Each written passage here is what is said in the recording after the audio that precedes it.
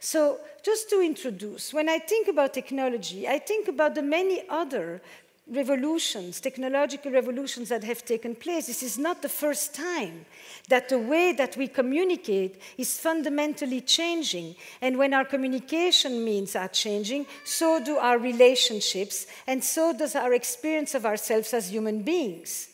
The fundamental human needs don't change, but the means for mating or dating, first of all, then mating, and then breaking up those are undergoing some major transformations.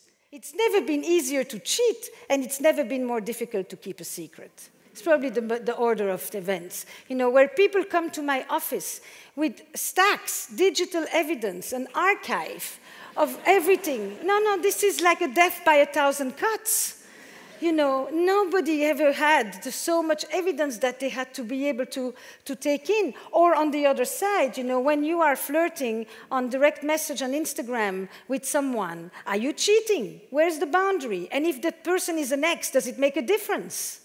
You know, where are the boundaries at this moment is a fundamental question. And then expectations. We have unprecedented expectations for our romantic relationships at this point.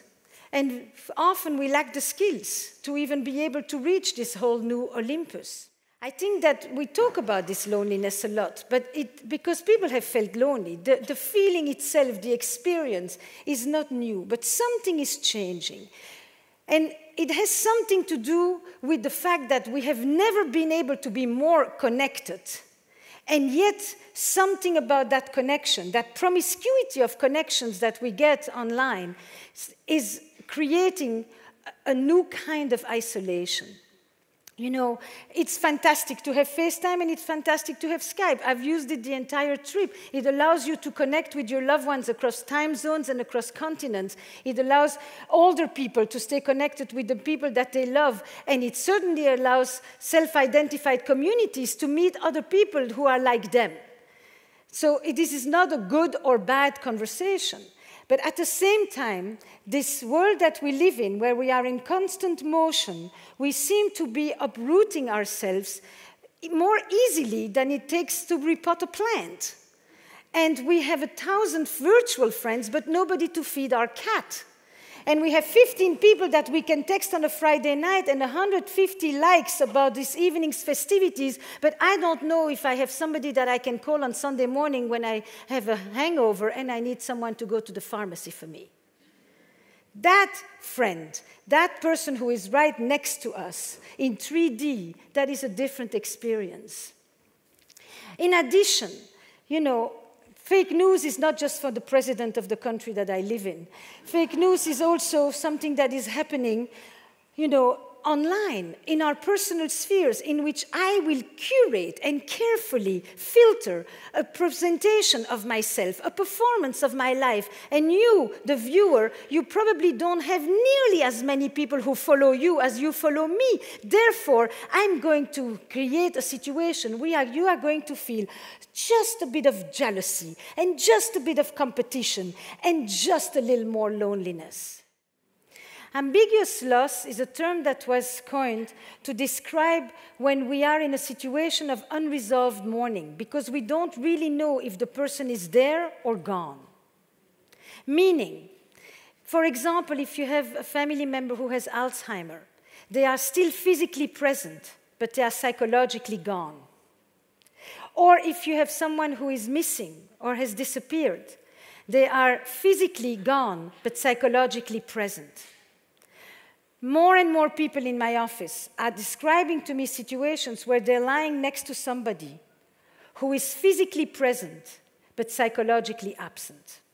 They're in some other world. And it can be a world, who knows? Who knows? It may be simply browsing, it may be just liking, and it may be a full blown affair because you don't even need to leave the house anymore for that. But that notion that I am actually experiencing a loss of trust and a loss of social capital from the very person next to whom I should not be having this kind of loneliness. That is probably one of the new faces of loneliness that comes with technology. I want to ask this is your first time in Australia. We're so thrilled to have you here. And you've been traveling the world with talks similar but not quite the same of this, um, having these discussions with uh, different cultural contexts and different cultures generally. I'm wondering how the conversation changes as you go between nations and between communities. Oh, that's a beautiful question. Um, first of all, hello, thank Hi. you. We're going to talk. you know, um, I gave a talk not too long ago, the last year in India, and it was called Straddling Tinder and Arranged Marriages. That says it all, doesn't it? Yes. So the same 20 something year olds that were talking to me about being on Tinder were then talking to me about how they were going home for the weekend, where they would be sitting in the living room and the people would be coming through that their parents had chosen for them. And so this notion of living in different cultural codes at the same time, it's no longer that you leave one code and you move into a new one. It's that you actually inhabit a number of different worldviews inside of you. Um, that, that, I think for me, India is definitely a place mm. where, um, and I would say, you know, the other, uh, the other place where I really experienced that, um, but more in an underground fashion, the only language, mating is translated in 30 languages, and the only one we didn't get was Arabic. Um, but that's okay because the web reaches and the podcast reaches. And so um, what's very interesting um, is who writes to you. That's a cultural question too. So I get, I got, you know, after the second TED Talk, about 1,500 letters. And the majority of the letters came from unfaithful women or hurt men. Mm. Those that have the least permission to talk. Do you understand?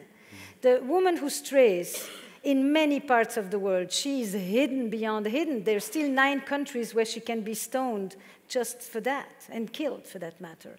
And the man who is hurt, in many parts of the world, he can't say that out loud either.